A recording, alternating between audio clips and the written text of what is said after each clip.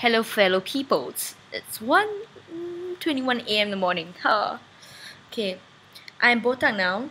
I'm scratching my eye. I'm botak now, and I was supposed to do this video two weeks ago about my hair for hope thing. But I was too lazy and decided I should do it today. So I'm doing it today, now, at early in the morning. Oh. Okay, so this is too late to do this kind of like video of oh I'm grateful have a hope and tomorrow I'm nervous that kind of thing. Let me do let me tell you a little bit about the pros and the cons of being botak in case you guys want to know. Which I don't think many people want to know but I'm to, I'm going to tell you anyway. Ha so strange I'm staring at myself Woo. okay.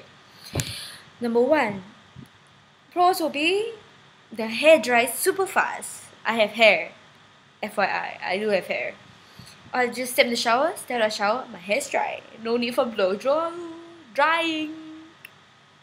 Number two. Oh, I don't need to comb my hair. I don't need to style my hair. I don't need to get worried that my hair will be messed up in the in the rain or in the wind or the sun. It's cool. I, it's nice. It's easy to maintain. And number three, all my damaged hair gone, and I'm waiting for a new hair to come out. Hopefully, be nice and not damaged like my previous hair.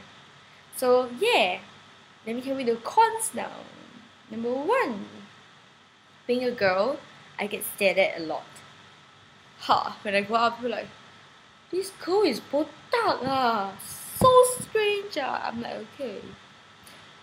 Number two, which is similar to number one, people go up to me, you want to be a monk ah? I'm like, no. so it's quite strange, stereotype, stereotype. Why can't girls be botak? Someone tell me why. Okay, that's it. And I'm going to show you a little bit of me, the shaving process. I'm going to fast forward everything. But yeah, I'm going to show you anyways. Okay, good night, people. Have a great Friday because it's Friday now. Yay! Bye.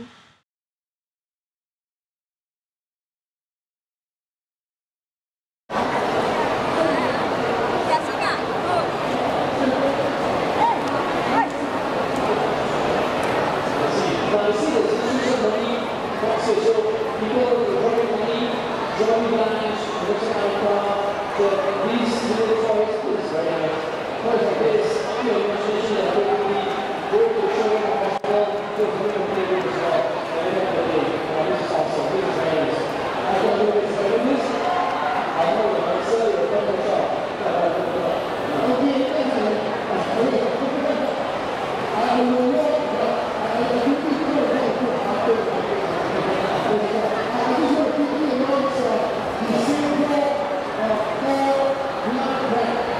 咱们参加的活动都是啊，这个公益活动，这个志愿者，嗯，爱心大奉献啊，公益机构啊，赞助。